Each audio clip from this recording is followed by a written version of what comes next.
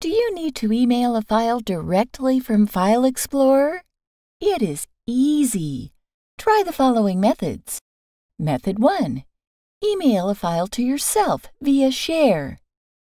Open the location of the file in the File Explorer which you wish to email to yourself or someone else. Right-click on the file and select Show More Options.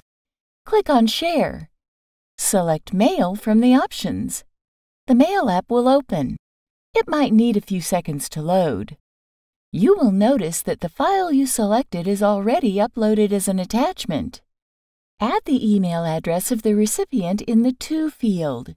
You may enter your own email address or someone else's. Click on the Send button to send the file. Method 2. Use the Send To option.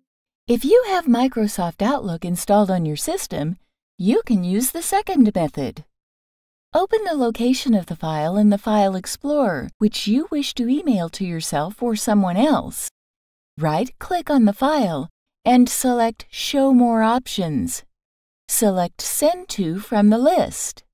Select Mail Recipient. Click on Attach. An email will be formed on Microsoft Outlook with the file you selected attached as an attachment.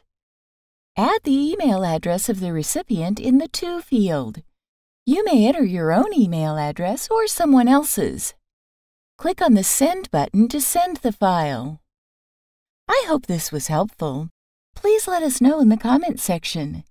Thank you for watching this video and have a nice day.